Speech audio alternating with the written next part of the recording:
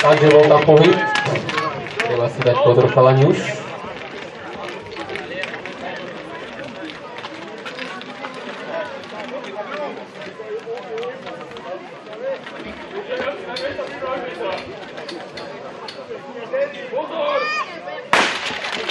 Boa,